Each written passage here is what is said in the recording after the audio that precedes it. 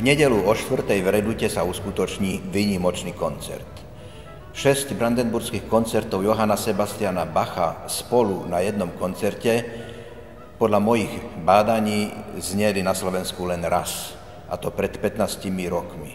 A som rád, že sa to podarilo zopakovať a som rád, že môžem vám predstaviť človeka, vynikajúceho dirigenta a flautistu, s ktorým budeme spolupracovať, Kaspara Zendera.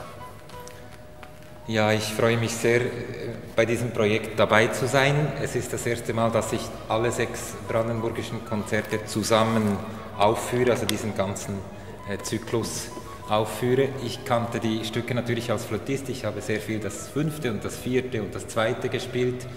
Äh, und ich habe mich das sehr, sehr oft in der letzten Zeit mit, mit Bachs Kantatenmusik beschäftigt und letztlich ist, äh, sind die brandenburgischen Konzerte so wie ein, eine ganze Welt von, von Bach. Also wir haben die, die sechs Konzerte, alle für ein anderes Orchester, alle ganz unterschiedlich instrumentiert, alle mit verschiedenen Farben und man kann auch merken, wo Oboen sind, ist das... Äh, eher Passionsmusik und wo, wo Trompeten sind, ist das eher Weihnachtsmusik und, und so, wenn man den Bach ein bisschen kennt, kommt man ihm äh, auf die Spur. Und trotz allem ist es eigentlich einfach Festmusik. Also wir freuen uns am Sonntag auf ein großes Fest.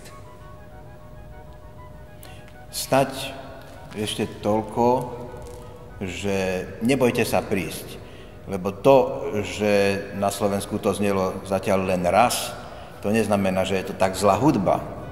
Naopak, je to vynikajúca hudba, ale je náročná a všetkých šesť na jednom koncerte je skutočne vynimočná udalosť.